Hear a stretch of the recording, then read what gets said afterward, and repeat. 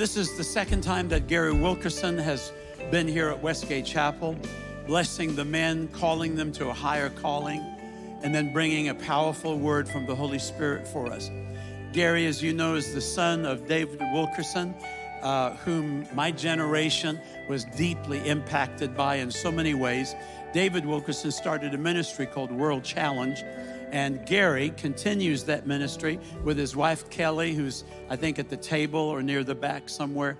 But what a blessing he has been. They have mission teams in some of the most challenging nations in the world, committed to taking the gospel where it is, where it's preached least and known the least. Plus, he does pastors' conferences all over the United States and around the world. Like his father, has a passion and heart for awakening, for pastors, and for the church of Jesus. So, would you join me in giving a warm welcome to Gary Wilkerson?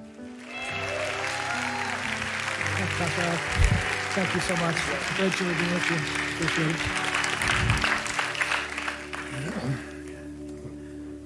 Thank you. Good morning, church. How are you today? It's a privilege to be with you. I want to get just a moment into the more important parts, but thank you, Pastor Alex and Rita, for allowing me to be here with you today. Um, you know, when you are a guest from outside of the town and outside of the local church here, you get to appreciate things that possibly I, I, I don't think this would be possible, but it maybe some slight chance that some of you here might take this church for advantage, take, take advantage and not know how good a church you actually have. This is, I've been all over the world and probably thousands of churches and preached in many pulpits. And uh, whenever I'm in the East Coast, I always like to go to Times Square Church in New York City or Pastor Jim Cymbala's church, Brooklyn Tabernacle, and hear the word preached and the gospel choir. Uh, when I'm on the West Coast, you know what I like, where I like to go? I like to go to Westgate Chapel. I think that's a. You guys have such a marvelous church and such a marvelous pastoral leadership team and the worship team and the choir. You guys just did an amazing job. Thank you so much for all that you're doing. You're headed for uh, what I like to say is the best is yet to come. God is going to be doing some great things for you in the times to come. Lord's blessing on you. Let me pray for us and we'll go right into the Word of God today. I want to talk to you today about receiving a touch from God or the, just simply the touch of God that we need in our life. Father, I would ask you to come and anoint my lips, my words, my thoughts, my heart Everything about what I would present today would come from you and from your Holy Spirit's power and nothing of myself. And I pray for this congregation, God, that you would give them sharp ears to hear, that, that, that, uh, that their hearts would be open, that their, the eyes would be unveiled to receive the good word of the Lord. And we thank you, God, and, uh, and it's my deepest desire that at the end of this message there would be people saying, with a desperation like we sang in our worship song say just we're hungry for more. We're thirsty for more. We're desperate for more. After all these years we're longing for more. I, I pray that that would be the response of our heart to your word in jesus name. And all the people of god said together amen. Amen. Amen, amen. the touch of god. A young husband finds his marriage in a crisis. Been married for a little while but he's finding his wife distant cold their marriage not the spark that it was at one time. There's a sense of, uh, of lack of love and passion for one another. Yet this young man goes to God and he asks for his heart to be filled with love and compassion and mercy and grace on his young wife. And, and over the years, she seems to have a coldness towards him, and her, her heart is, is, is not there. But over the years, he prays and he fasts and he seeks God and he keeps burning inside of his heart for the things that God has for him and his family. And, and, and before long, her heart is beginning to be moved. And she's getting closer to God again, and she's getting closer involved in the church and the family of God and finding friends who encourage her. And, and because this man has a touch of God on his life, he is able to pass through that difficulty and bring out a result that God has intended for his family. That is a man with the touch of God in his life. Now, you may have another man in a very similar circumstance facing a marriage situation that is difficult for him. But instead of having the touch of God on his life and growing in the things that God has for him and being hungry and desperate for more of God, he grows cold, a bit skeptical. Will God hear my prayer? Does he really respond to us? Does he love? Does he care? He even not only grows cold, but he grows bitter and he gets distant from God, yet attending church and occasionally reading his Bible. He, he's losing his passion and he ends up in a loveless, long, dull, and dreary marriage because he does not have the touch of God on his life. And he's not willing to pursue God to receive that touch of God. Therefore, the results are what comes from, from a person who lacks that very touch of God on their life. The middle aged woman, as she, her kids are grown now and they're leaving the home, and, and she finds herself with some time that she never had before. And, and she takes that time, that extra time that she has, and she finds a prayer closet in her house, and she sets up an altar there where she seeks the Lord's hand and his face day and night. She presses in to know God. She, she kneels there and opens up the Word of God. And, and, and out of that, she gets on the phone occasionally and calls a friend. And before long, they're gathering a couple people on the phone all together and they're, they're praying for one another. And before long, they actually said, let's meet together and start a, a, a prayer meeting. And they start praying and desperately seeking God. And before long, their cranky old husbands are getting saved. And before long, their prodigal children are coming home and getting on fire for Jesus. And before long, their friend that was diagnosed with terminal cancer is healed and set free from that. Before long, drug addicts that they're praying for on their prayer list, they're crossing their name off because they're no longer addicted to drugs. They've been set free by the power of Jesus Christ. That, that is a woman with the touch of God. But another woman in the same circumstance, same situation, her kids are growing up now, and she finds herself with a little bit of what she never had before, a little bit of leisure time. And what she does with that is decide there's some TV shows that she's not been able to binge watch that a lot of her friends have, have been watching. She, she wonders what Yellowstone is all about or uh, these different things that seem to be popular today. And she, she sets her mind to these things, and before long, she's, she's absorbed. She's binging on all of these things. And if, if you're like me, you know what parallels coming with too much television is too much eating.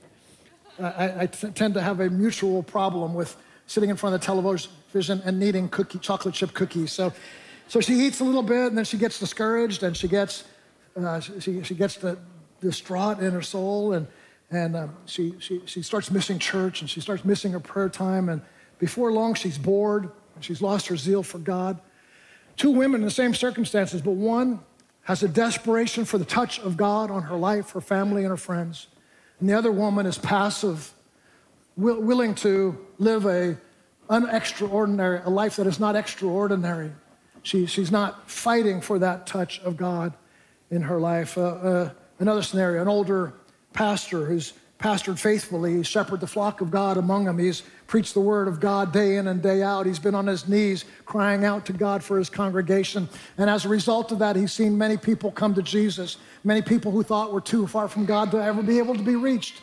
And now he sees them coming to the altar and receiving Christ. And the baptismal tank is full of people every month, a baptism service, and the worship is rich, and God's presence is real, and he's faithful, and, and, and it just seeks God's face, and there's miracles taking place. That is a man who's persisted and pursued the touch of God on his life. He's not willing to get to this pulpit without a touch of God. He's not willing to have songs sung without the choir and the worship team having a touch of God on their life. He's not willing to sit in his counseling office and talk to a married couple that's in need without a touch of God.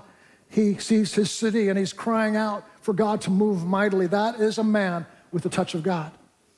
Now, just down the street from him, there's a another church, a pastor also growing old, and he's been there for a long time. But as, he, as he's been there for a season, he finds his heart growing cold.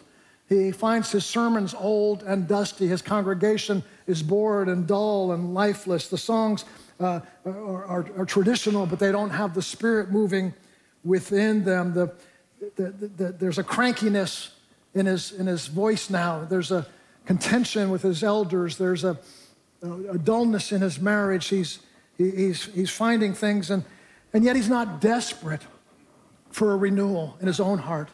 He's not crying out to God, change this old crusty heart of mine. He's, he's willing to accept the old status quo. He's a man without the touch of God. A youth group, some young men and women get along with God and they start reading the scripture. And they read this book in here called the Book of Acts. And they come to the second chapter. In the second chapter, Acts, these teenagers hear the Lord speak to them that they can be baptized with the Holy Spirit and with fire. And they read about how Peter stood up and preached, and 3,000 were saved in one day. And they wonder is where is this God? Where, where is this power? It's not in our church. It's not in our pastor, unfortunately. And so they come to the, they meet the pastor in church one evening and they say, Pastor, we want to meet you at the front of the church. And he's standing there and they come in.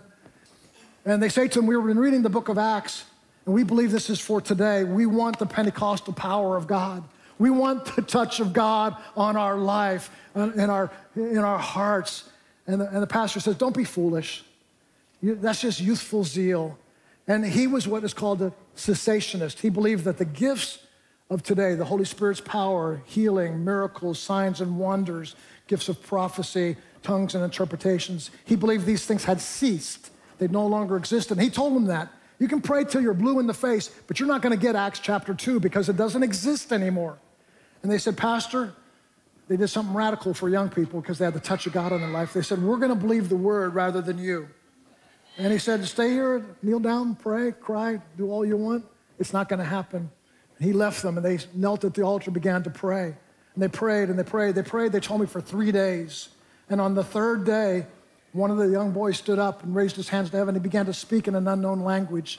And all of them were filled with the power of the Holy Spirit. And there was a zeal, there was a touch of God, there was a fire in their bones, there was a stirring in them. And God began to move. There was a move of God in this church. The, the pastor came three days later, and these were, the kids were still at the altar, crying and praying, speaking in tongues, hands raised, shouting, rejoicing. And the pastor says, What's going on here? And they said, We were filled with the Holy Spirit. And he said, These things don't, and before the sentence could get out of his mouth, these things don't, he got baptized in the Holy Spirit. the Spirit of God fell on him. Hallelujah. You can put your hands together for that. That's what we're saying, thank God for. That pastor got the touch of God because those young people were desperate for a touch of God. And he went on to, uh, I had the privilege of preaching in his church in Havana, Cuba, under the communist regime, under, under a, heavy hand of persecution.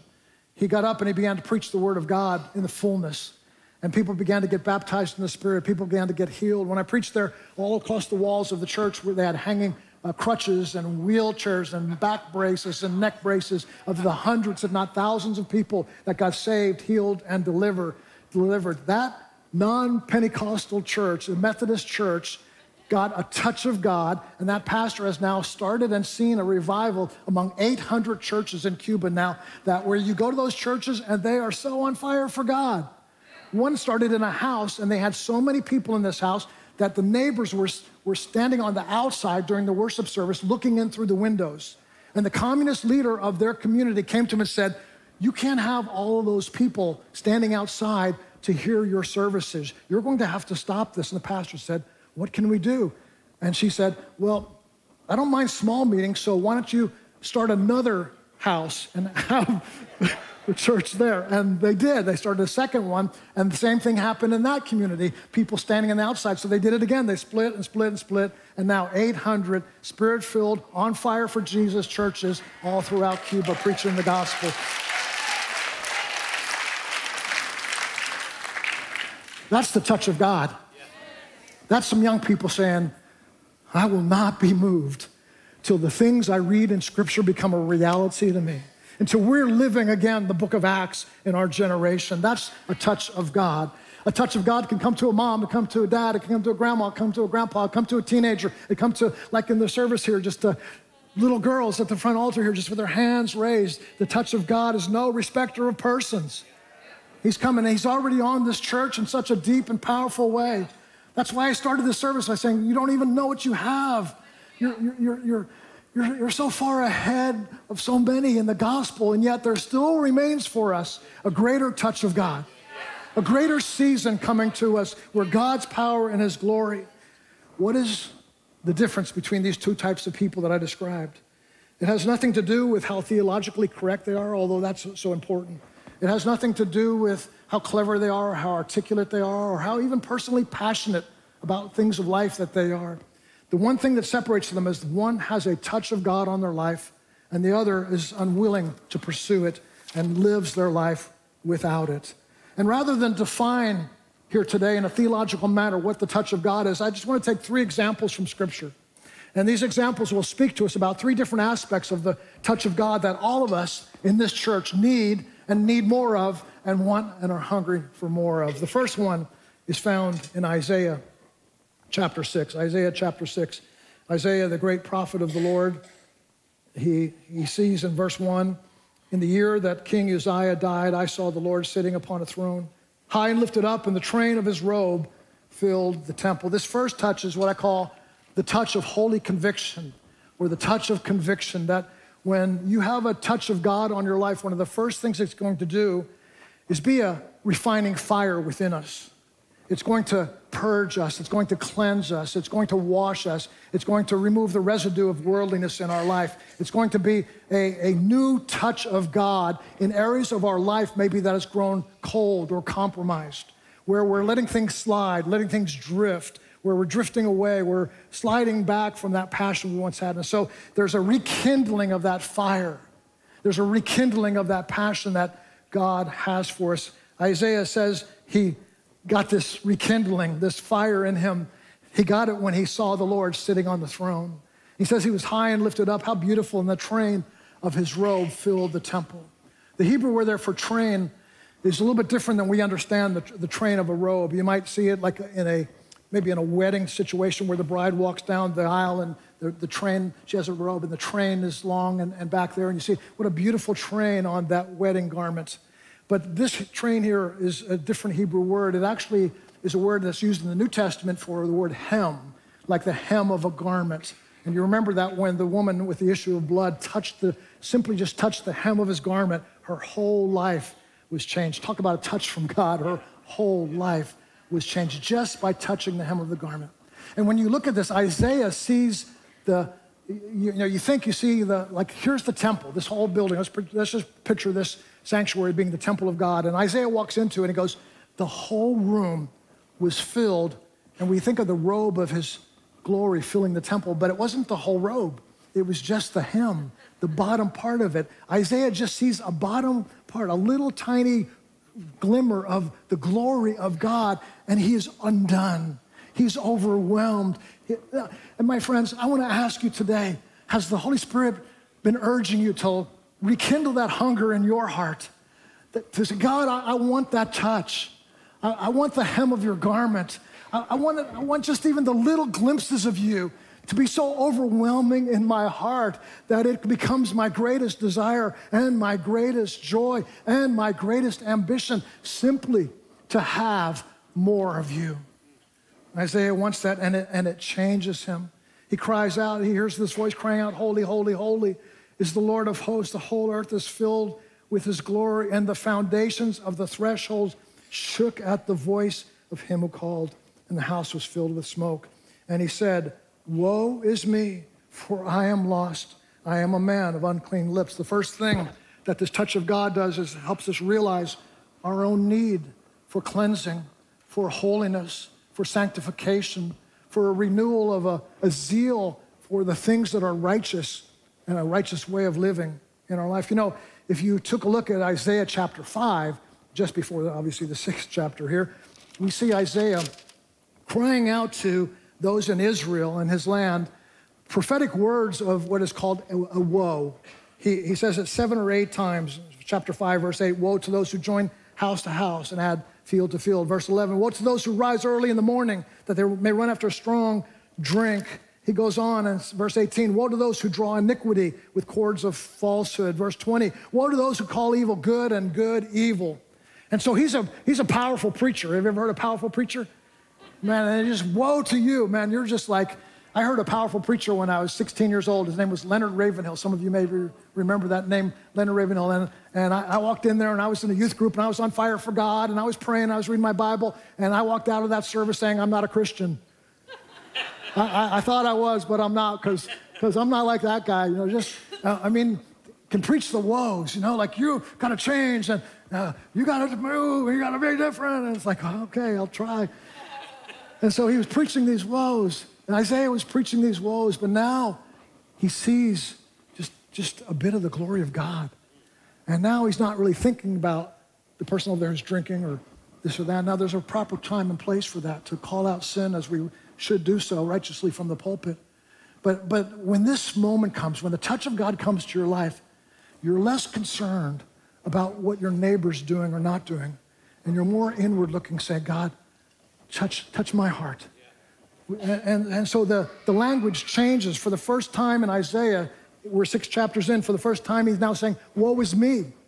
It's on me. Jesus, change me. Holy Spirit, change me. Holy Spirit, do a work in my life. Let me become once again sensitive to the things of God.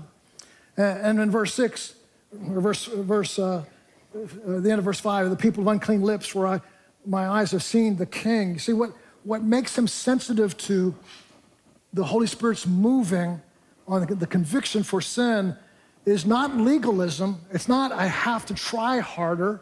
It's, I've seen the Lord. Yeah. Yeah. I've seen him, and, and, and, and, and, that, and I'm undone.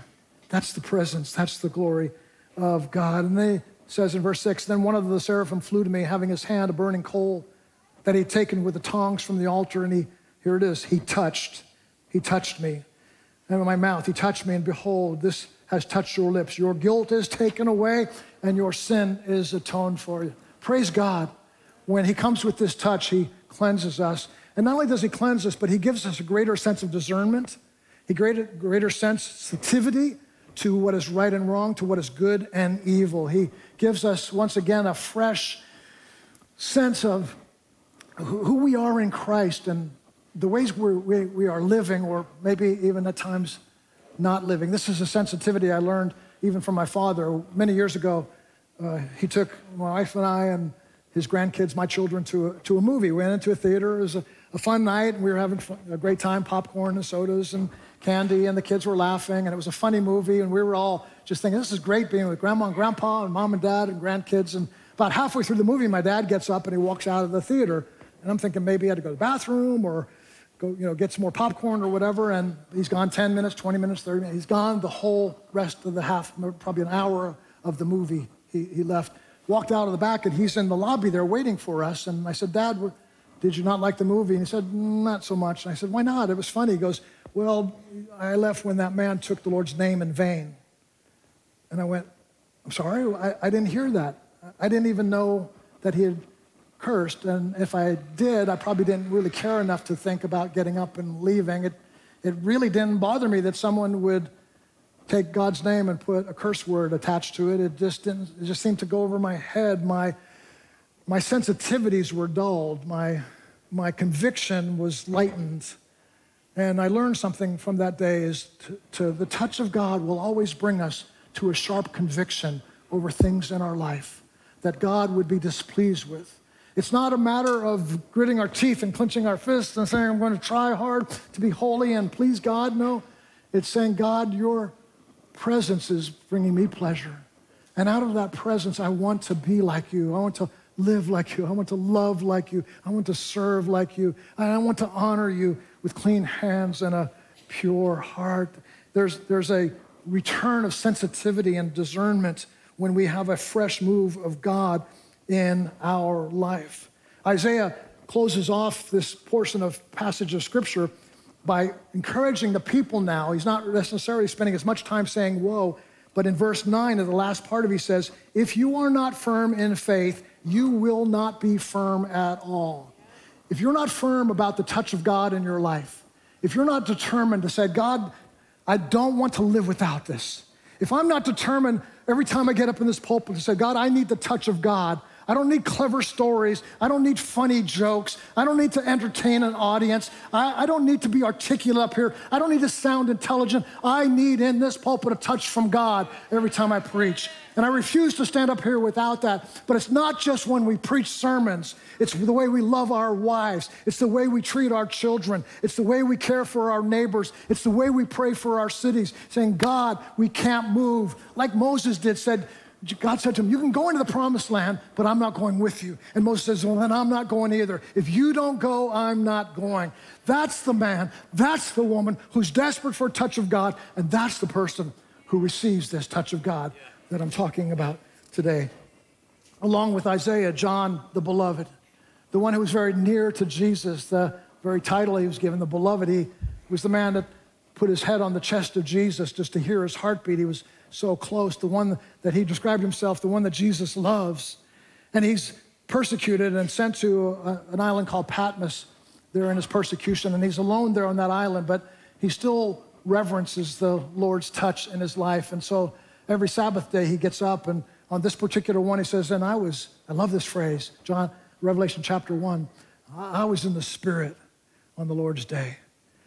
Uh, that's really good. You know, he didn't say I attended church. He didn't say I heard another sermon. He said, No. Nah, when I, when I came to this place, this this gathering, even though he was alone, when he came to it, still he was saying, I was in the spirit. I want to encourage you when you come to church, don't wait to get in the spirit because of the music and the preaching. Come to church already in the spirit. Instead of fighting with your spouse on the way here about how long it took to get the children ready for church, pray with one another. Ask the Holy Spirit to fall on you in the car before you walk through the door, and then you'll find a greater glory in the presence of the Lord together. But John's waiting there in the presence of the Lord, and he says, And I was there in the Spirit on Lord's Day. And then I love this next part. He says, And I heard a voice. What a great thing. He's, he's hearing the voice. And then next thing he says, And then I turned. And I, and I turned, and then he says this, and I saw the Lord. Same, same as Isaiah. I saw the Lord high and lifted up. The train of his robe fills the temple. John's undone.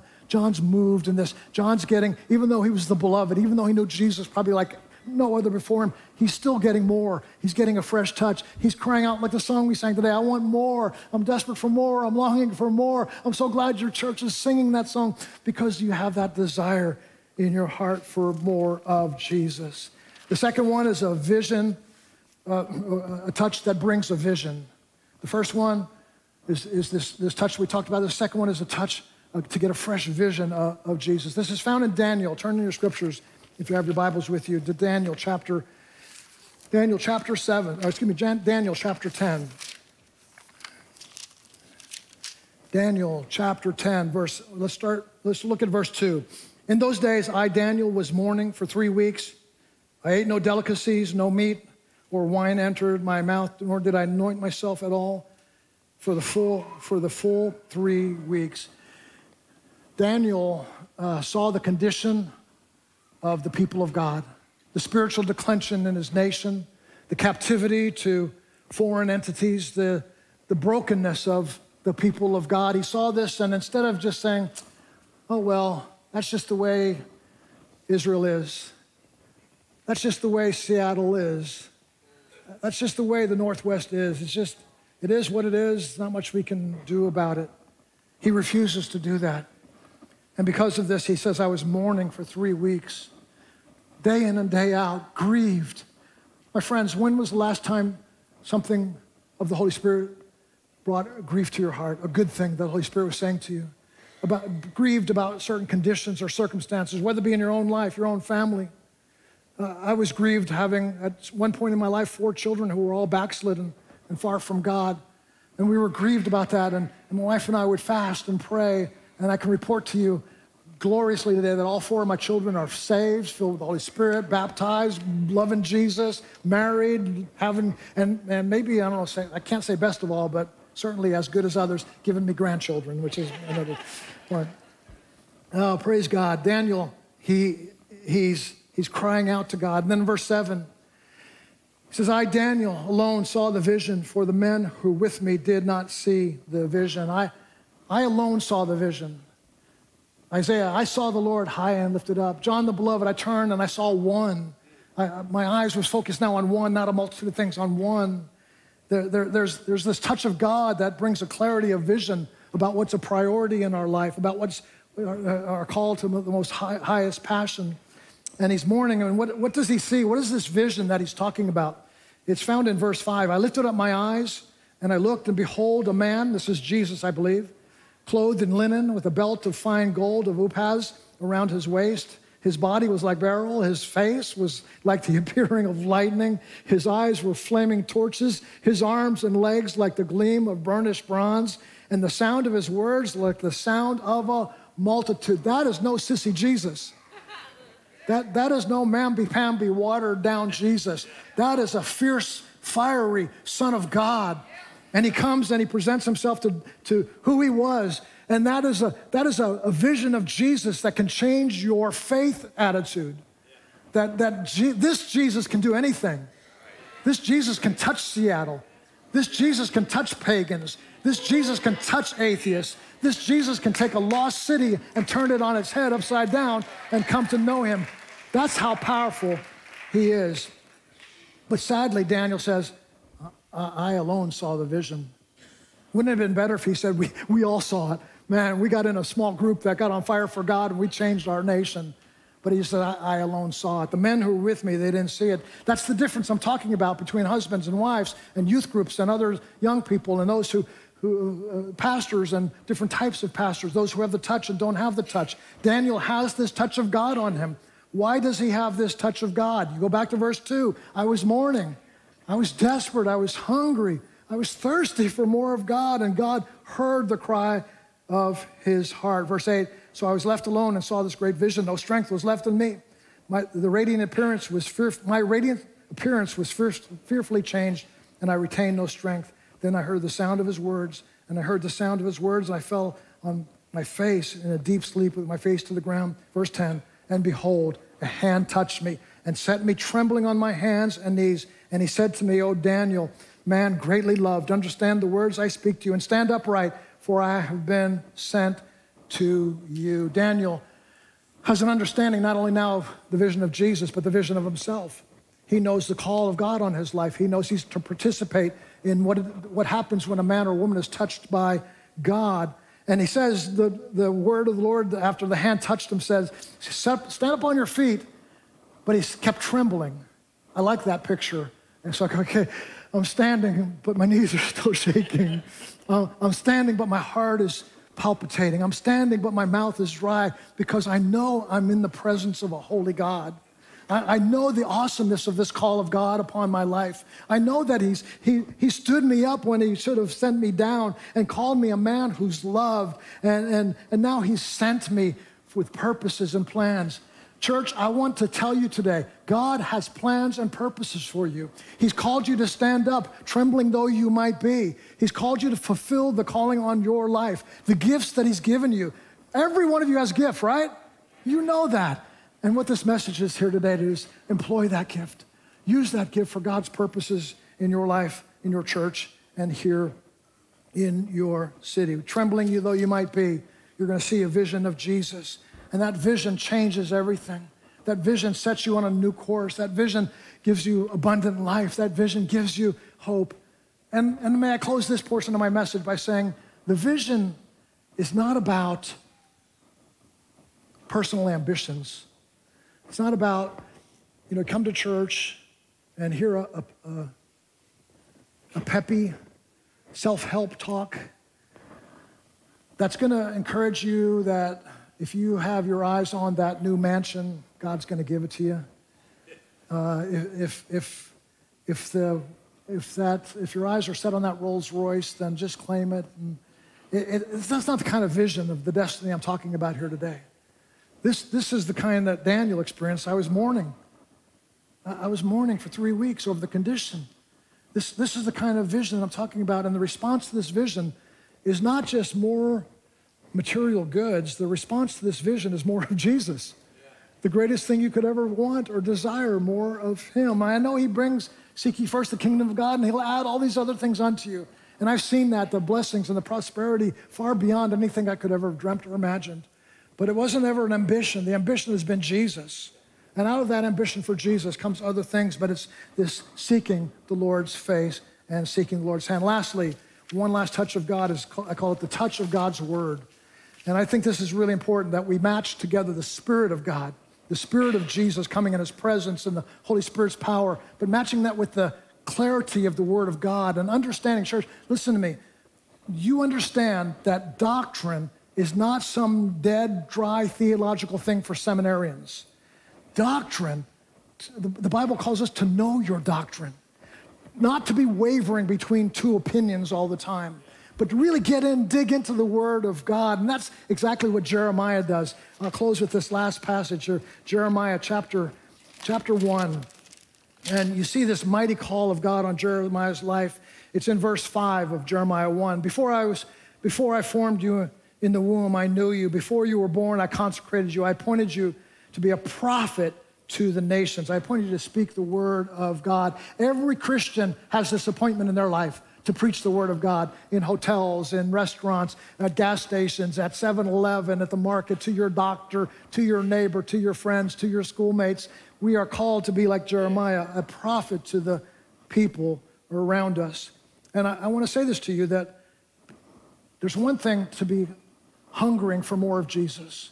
It's, it's, it's a beautiful thing to be desperate for a touch of God in your life. But it's another thing when this happens where He touches you because He's called you.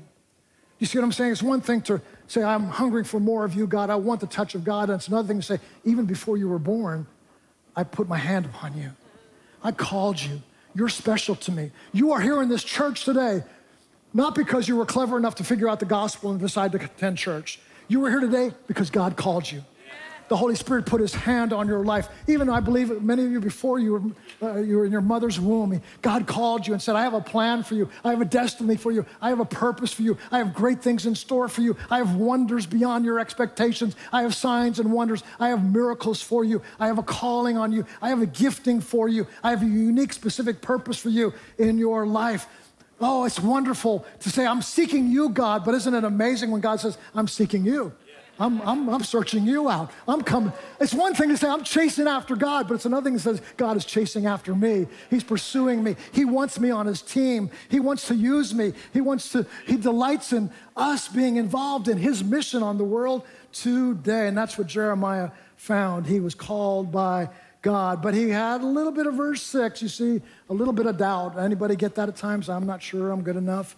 I'm not sure I'm smart enough. I'm not sure I'm strong enough. I'm not sure I'm spiritual enough. I'm not sure I'm old enough. I'm not sure I'm young enough. I'm not sure I'm brave enough. Enough of the enough. All right? And here's his enough. What God had enough with him was saying, Ah, Lord God, behold, I do not know how to speak, for I'm only a youth. But the Lord said to me, Do not say. Here's what the Lord said Stop it. Stop with the enoughs. Stop with saying, I can't, I won't, I'm not, I'm sure, da da. Do not say whatever you could fill in the blank, I am. For this man, it was, I am only a youth. Uh, for to all that I send you, you shall go, and whatever I command you, you shall speak. Do not be afraid of them, for I am with you to deliver you, declares the Lord. Then the Lord put out his hand, and here it is again, and he touched my mouth, and he said, Behold, I have put words in your mouth and I have set you this day over nations and over kingdoms to pluck up and to, to break down, to destroy and to overthrow, to plant and to build. Verse 11, and the word of the Lord came to me. I, want to minister to people who, day in and day out, 24 7 say, I want the word of the Lord to speak to me. I, I, I want him to touch my lips with, with, with coals from the altar. I, I, I want him to put his hand on my mouth and, and, and put the word of God into me. And, and then, secondly, I want the word of God to come out of me. It's a, it's a two way street. It, it, doesn't come out unless it comes in. The, out of the heart, the mouth speaks, unless the word of God is built into your heart.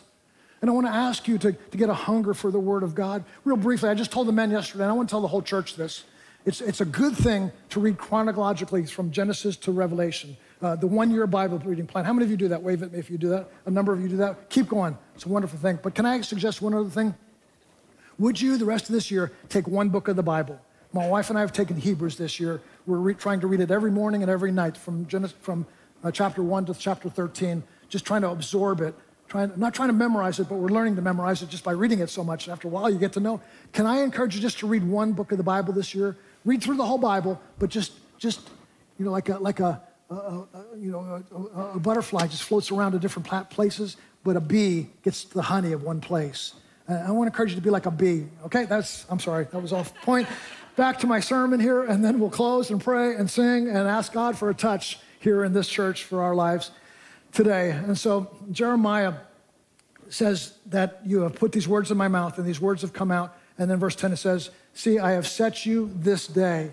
And my encouragement to you is this day, today. You don't have to wait two years, five years, 10 years. You don't have to wait to graduate from Bible school. You don't have to wait till you get married. You don't have to wait till anything at all. Today. I love that the Lord's saying, This touch of God is yours for the asking today. every single one of us in this room can have today this fresh touch of God. And I thank God I grew up in an environment where this was the culture of our household, where we understood you need the touch of God. You don't go into New York City and work with gang members and drug addicts without a touch of God on your life. And I don't go into places like Afghanistan and, and Iraq and Sudan without hopefully having a touch of God in my life. And I hope I don't get up in this pulpit without a touch of God in my life. And I tell you what, it's not just for ministers or pastors. Every single one of us needs a fresh touch from God. Some of you are getting ready to go on the mission field this week. That touch of God is so needed in your life while you're there. But even right here on our home base, this touch of God is needed for your family. It's needed for your own personal life. It's needed for your relationship with Christ. It's needed for your small group. It's needed for women's ministry, for men's ministry, for youth groups, and for the evangelization of this city. Stand with me if you would, please. And if you are saying, Pastor Gary, I'm hungry and I'm thirsty and I'm desperate for a touch of God, some of you, that touch of God has diminished. It was there once with passion and fire and zeal, and now it's diminished. For others, it's, it's, you're, you're saying, I, I am on fire. Uh, I'm like this worship team. There's, there's fire bubbling out for me, but I want more. I'm desperate for more. I, I want a new and fresh touch from God. I want to ask you in the balcony here and on the front on both sides, come down here close to the front. And we're going to believe God to do a miracle. It's going to be a step of faith saying, I'm going out like Isaiah did. I'm going out like Jeremiah did. Uh, I'm going out like all these men of God did, women of God, for, for this full touch, a full and fresh touch of God on my life. Step out of your seats. Come on ahead from the balcony. I know it's a little harder to get down, but, uh, but I believe God has something for you. There's exits on both sides there. Come on down. Come up closer to the front if you would, guys. Can you come in a little closer here? Come on in a little closer so those coming down the balcony have room to join us. All right, let's sing this song together while you're coming. God's going to touch us today with a fresh touch from the Spirit. In humble adoration. I kneel before your throne. In brokenness, I seek your face alone.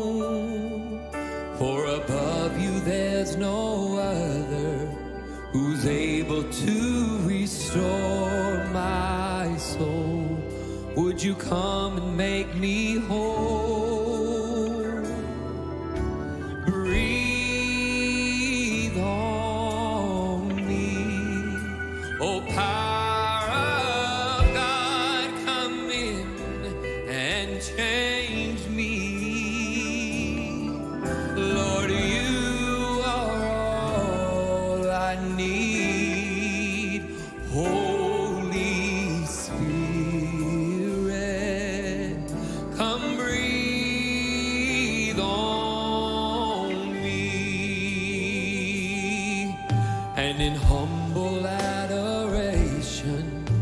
I kneel before your throne. In brokenness, I seek your face.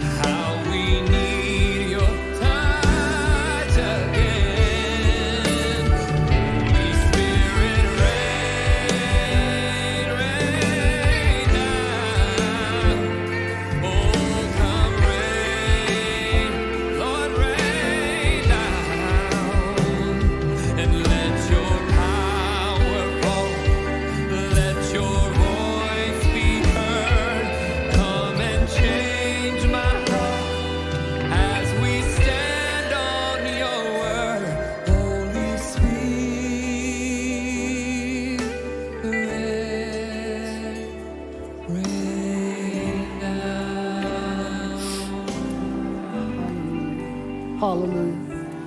Bless you, Jesus. Hallelujah. Just take a moment now, would you? Just, just ask Him, Lord, I, I want a touch from you. Lord, touch my eyes, touch my heart, touch my lips, touch my mind. Give, give me a fresh vision of you, Jesus. I, I want to see you high and lifted up in my life. I want the train of your robe to, to fill the temple of my mind and my heart and my understanding. I want your robe to fill my household, my, my spouse, my children, my grandchildren. I, uh, I want, Lord, this church to continue to flow in the glory of the touch of God on our lives. We, we want to see this thing spread throughout our city, God. We, but we know that we need to be men and women who are touched by God. Excuse me. So we are, we are asking now, God. We are asking for that fresh touch. We are asking, God. We're, we're believing. We're not just asking, we're believing you, God. Hallelujah. How many of you came forward? You actually believe. That's that, that a step of faith, stepping to the, what we call the altar here at the church, is, is a move towards God that His hand is going to touch you today. He's not going to leave you as an orphan. He's not going to leave you without this fresh fire in your bellies. So, Spirit, come now. Spirit, pour out now. Spirit, move now. Spirit, refresh now. Spirit of God, give us more than we've ever had before. Thank you, God. We feel a little bit like that youth group in Havana, Cuba. We, we want to say, we're not going to move, God, until the book of Acts is a reality in our life. And Lord, do it now and do it here at Westgate Chapel. We thank you that there's a pastoral leadership and a worship ministry here that is wide open to all that you have for us. And we don't want to have them to have to pull us into it. Lord, we want to just flow with the call of God in this church to be all that the book of Acts has called us to be. And we believe it. Amen? We believe it. We believe God is calling us to this. We believe we can trust Him. So now we thank you. Would you just take 30 seconds to put a hand on the shoulder of the person next to you and just begin to pray over them? This is the touch of God. This is God's touch in your life. I'm here almost uh, in proxy for the hand of God reaching out to you to touch you. And just pray over them. Fresh wind, fresh power, the fullness of God's Spirit, the love of God. Thank you, Jesus. Thank you, Jesus, for this touch of God. Thank you, Spirit of God. Thank you, Jesus. Holy Spirit, Holy Spirit, come. Rain